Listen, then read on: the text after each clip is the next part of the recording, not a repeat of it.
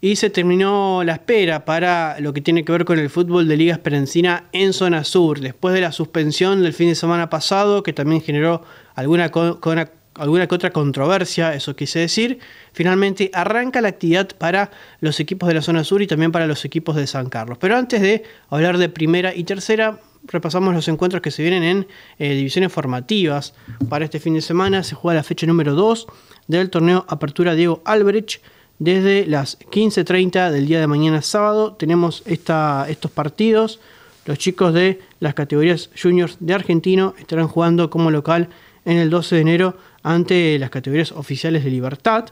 También tenemos partidos de Unión Progresista y de Central. El Depor estará visitando a Argentino de Frank y Central estará visitando a Atlético Frank.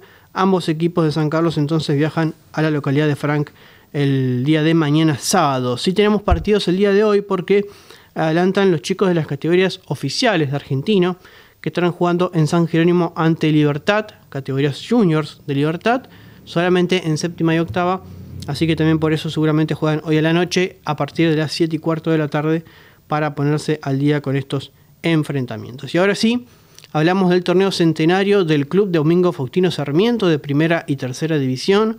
14.30 en reserva, 16 y cuarto en primera. Esto va a ser el próximo domingo. Eh, ya eh, tenemos en realidad un adelanto que se va a estar jugando el día de hoy, porque eh, debuta el Depor a partir de las 20.30 en reserva, 22.15 en primera. Están haciendo la invitación para ir a ver al equipo de Mauro Martínez frente a Argentino de López. En condición de visitante debuta el conjunto albiverde en esta temporada 2024 buscando mejorar obviamente lo que fue el año pasado, que recordamos que el Depor en ninguno de los dos torneos del año pasado pudo clasificar a la siguiente instancia, los playoffs. Vamos a ver si este año cambia esa situación. Eh, hay muchas expectativas, así que vamos a ver qué pasa con, el equipo de Mauro Martínez. Central estará jugando finalmente el día domingo ante Libertad, eh, Libertad que viene de quedar eliminado de la Copa Federación en cuartos de final ante Ferrocarril de Rafaela. Eh, en el Rogelio FDL va a ser este partido y va a ser el partido que vamos a estar filmando, así que el día lunes te vamos a traer las imágenes de lo que nos deje ese interesante partido entre dos equipos que también da la sensación de que van a ser protagonistas este año. Argentino estará debutando como visitante, ya confirmado en la Liga Esperancina por segundo año consecutivo y eh, de manera definitiva, porque consiguió el pase definitivo a través del Consejo Federal. Argentino debuta como visitante ante Unión de Esperanza, ante el Repollero.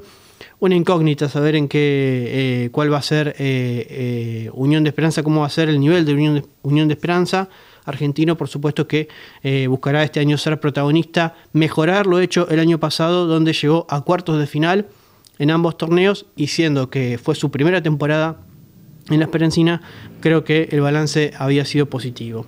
Además, estos tres partidos en zona sur, Mitre frente a Argentino de Frank, Belgrano de Zapareira frente a Atlético Pilar y Atlético Frank como local ante defensores. También el día domingo tenemos partidos de la zona norte, de la fecha 3 de la zona norte. Hay muchos partidos de la fecha 2 que se tenían que haber jugado el miércoles, fueron postergados y se van a estar jugando el miércoles que viene.